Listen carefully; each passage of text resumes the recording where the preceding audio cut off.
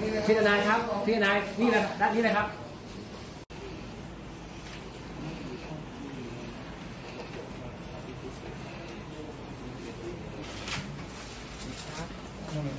ผู้ปกครองเต็มเลย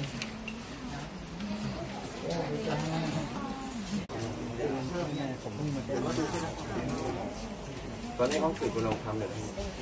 ยังยังไม่เสร็จครับครับครับได้เพิ่ม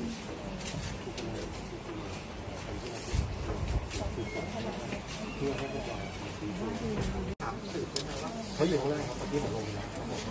ที่เพิ่มเติมเนาะครับโอเคงั้นเดี๋ยวเรามุกไปกันอ่าอ่าอ่า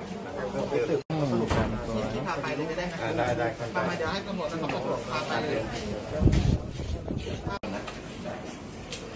ตอนนี้วันนี้ผมลางานไว้ก็จะเอาให้มันจบทำจบครับคือตอนนี้สอบทำผู้ปกครองเสร็จ แล้วเราก็จะนับผมอยากรู้ว่าตัวครูนี่เขาแจ้งดำเนินคดีหรือยังครับหรือว่าตัวตัวทีเชอร์แซลเขาแจ้งไปยังทางตำรวจ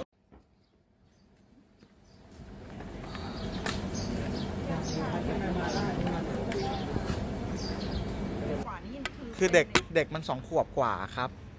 แล้วไปไปตบไปทุบเขาอย่างนั้นอะ บางคนก็เป็นรอยแผลเลยก็มี อันนี้กล้องแค่สามวันนะครับ นี่ดูแค่สามวันนะ ยังไม่ได้ดูสองเดือนนะ วันที่เท่าไหร่บ้างครับ เฉพาะสามวันหลังจากตำรวจไปเก็บมาครับ ของผมนะฮะก็จะจะดูทั้ง 3 วันเลยนะครับที่ที่เจอนะฮะแต่ที่อ่อตอนแรกเนี่ยที่เจอรุนแรงเนี่ยก็คือ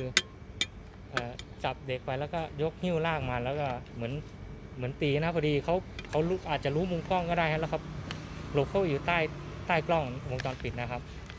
แล้วก็เหมือนน้องก็ร้องไห้ไม่หยุดแหละอืมแล้วก็เหมือนก็ไม่รู้ว่าเขาไปทำอะไรมั่งนะฮะแล้วก็มีอีกเอ่อเหตุการณ์ต่อเนื่องมาก็ มีเอ่อเขาเอาถุงดำนะฮะมาคุมตัวน้องนะครับ มาคุมน้องนะฮะก็มีคนทำสองคนที่เห็นนะฮะแล้วก็มีคนอื่นเขาก็ดูเขาทำแล้วเขาหัวเราะคิกคักคิกคักกันผมไม่แน่ใจว่าเขาเขาคิดอะไรกันอยู่ครับนะคุฮะณพ่ในอครับส่วนนี้แล้วนะฮะอือฮึแล้วต่อทีเนี้ยต่ออีกจะมีอีกวันหนึ่งที่